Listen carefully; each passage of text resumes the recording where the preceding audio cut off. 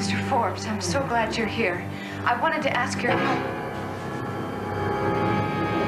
Miss Whitley, I was looking for Mr. Forbes.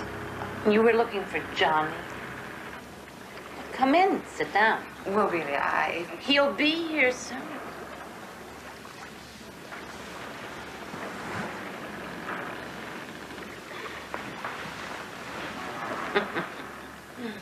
what a clever girl you are.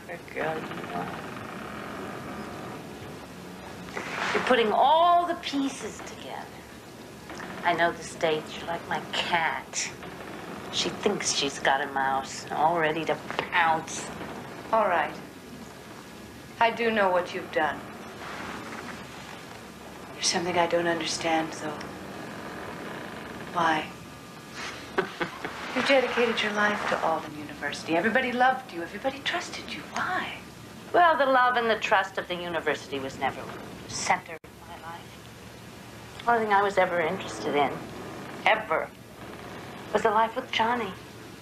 And he wanted that too. At one time. Before there was only room in his life for Roger and his plans for Roger.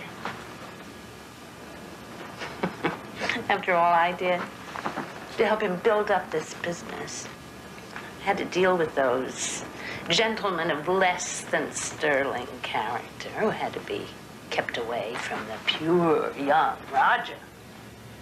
And he just set me adrift gradually, eliminated me from their lives. What was I to do?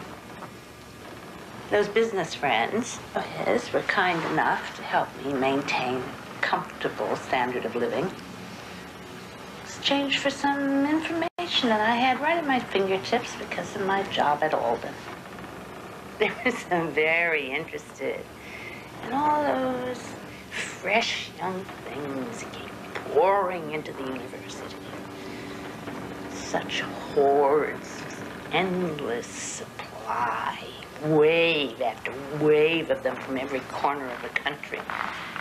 And it doesn't matter how many you eliminate, there are always more. And you are one of them.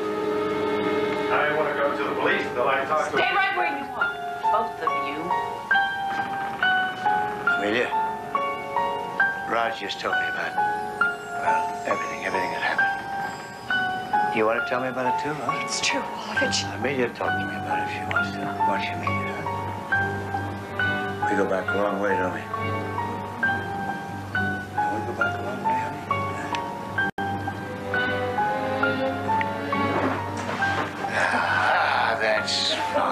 That's good. Very, very good, I honey. That's right. You just let it pour out now, huh? Good girl, good girl. Nobody, nobody's gonna blame you. No, no. I'm not gonna hold you responsible for what happened to those girls.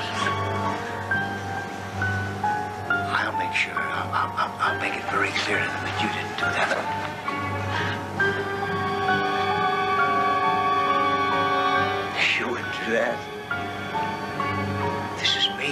Huh? Your old friend, Johnny, huh? Remember me? Oh, All those good times we had together. It's too late, Johnny. No, no, it's not too late. Dad! Meryl, get on the phone. Call the police. It's quick. Quick. Stay away. Stay away. Stay away. It's mine now.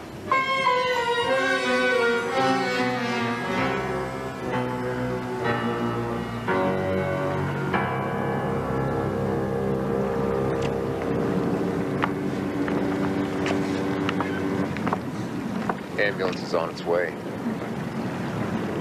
From what I saw, there's really not much point, is it?